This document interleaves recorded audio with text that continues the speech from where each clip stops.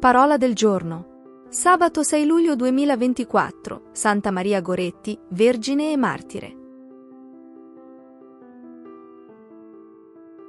Dal libro del profeta Amos.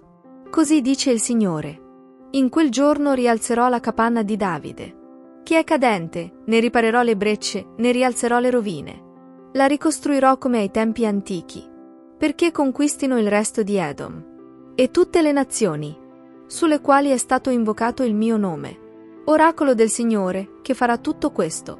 Ecco, verranno giorni, oracolo del Signore, in cui Chiara si incontrerà con chi miete, e chi pigia l'uva con chi getta il seme.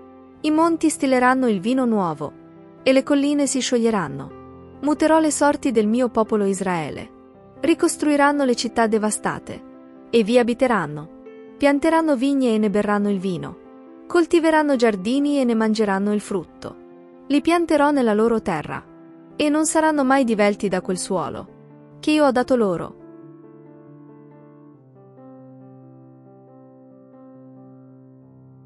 Dal Vangelo secondo Matteo. In quel tempo si avvicinarono a Gesù i discepoli di Giovanni e gli dissero, perché noi e i farisei digiuniamo molte volte, mentre i tuoi discepoli non digiunano?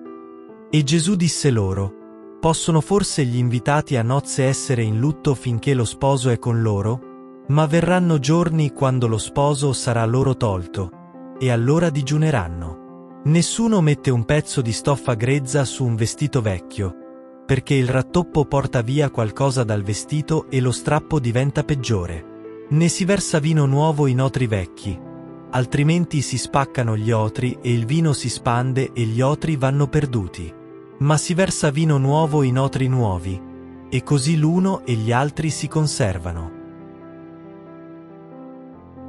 Oggi, 6 luglio, si venera Santa Maria Goretti, Vergine e Martire.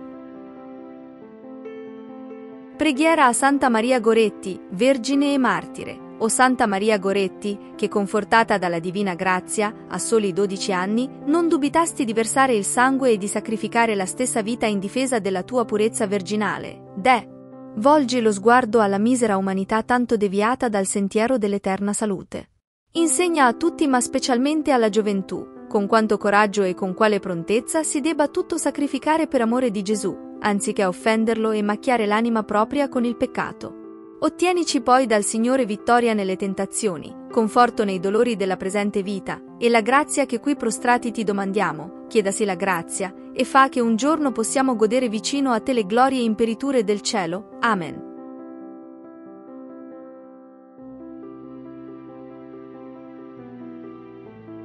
Santa Maria Goretti, Vergine e Martire. Santa Maria Goretti, nata il 16 ottobre 1890 e morta il 6 luglio 1902, è venerata come martire della purezza nella Chiesa cattolica.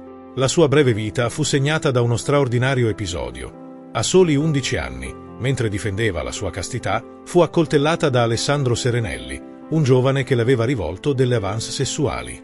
Maria Goretti morì il giorno seguente, dopo aver perdonato il suo aggressore. Questo gesto di perdono ebbe un profondo impatto su Serenelli, che, dopo anni di carcere, si convertì e divenne un laico penitente.